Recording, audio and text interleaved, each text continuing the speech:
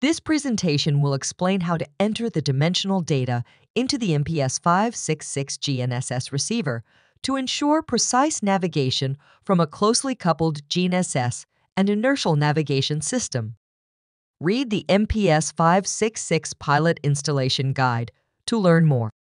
I will explain the measure up of the relative position of the two GNSS antenna on the compass deck and the dimensions from the position antenna to the MPS 566, which is located in the wheelhouse. This picture shows the GNSS antennas on the compass deck. The one close by is on the port side and is what we call the position antenna. The antenna over on the starboard side is the heading antenna. If you can't place the antennas exactly port and starboard, then place them parallel to the center line of the vessel in a bow to stern direction parallel to the vessel center line. In today's example, the GNSS position antenna is on the port side and the GNSS heading antenna is on the starboard side, so they create a baseline exactly at right angles to the vessel center line. We use a tape measure and measure between them in a positive y direction, and we note that they're at the same height on the vessel. While up on the compass deck measure from the position antenna to the MPS 566 in the wheelhouse. Measure in the port starboard axis positive y axis going to starboard. Measure in the forward aft axis positive x axis going forward. Measure in the up-down axis positive Z axis going downwards. Now in the wheelhouse, you will have screwed the MPS 566 pilot system down firmly, either facing forward to the bow, which is the default as shown on the diagram on the right side, as well as the actual photo in the top left or facing stern, as shown on the left side of the diagram. In today's example, the MPS 566 is facing to the bow, which is the positive x-axis. We can now start entering data into the MPS 566 via the web browser user interface. While we were on the compass deck, we used the tape and measured 11.08 meters between the two antennas. The first task is to double-check this critical measurement between the two antennas. We can let the MPS 566 measure this vector precisely between the antennas by ensuring the INS function is off and then looking at the receiver status vector. First, go to the receiver configuration INS and ensure that this is not enabled, then go to the receiver status and the vector heading display, and down at the bottom right you'll see the range between the two antennas is 11.08 meters, which confirms the taped measurement. Back in the receiver configuration INS menu, this time we're going to enable it and go through the menus. Under General, leave the default values on and the receiver motion as marine. Under Graphic Prerequisites, there's no need to change anything. These values really only change the shape and size of the boat in the 3D view over on the right. They don't affect the accuracy of the GNSS data. For the mounting angles, there is no need to input the orientation of the MPS 566 in this example, since the default orientation is used. In other words, the receiver is facing forward, facing the bow. Under GNSS lever arm, leave the primary GNSS offsets as zero, so the NMEA position outputs will be of the position antenna location.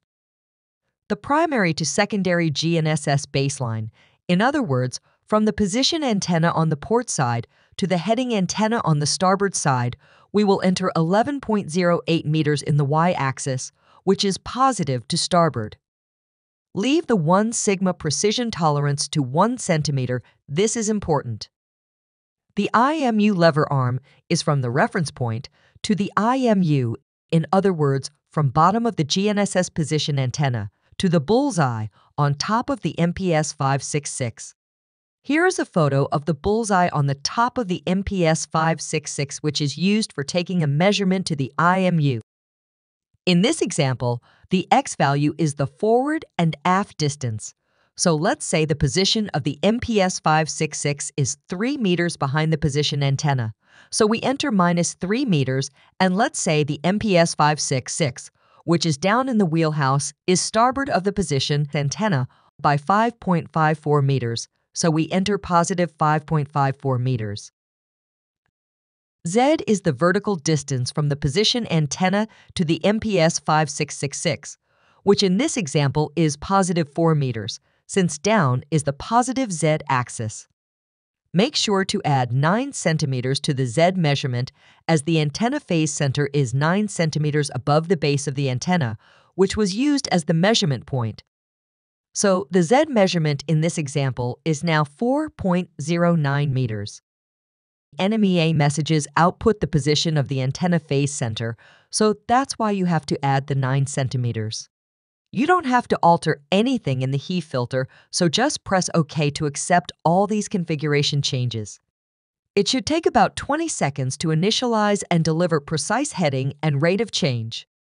You can check how it's going by going to the Receiver Status menu, INS Status page, and you'll see it's actually aligned.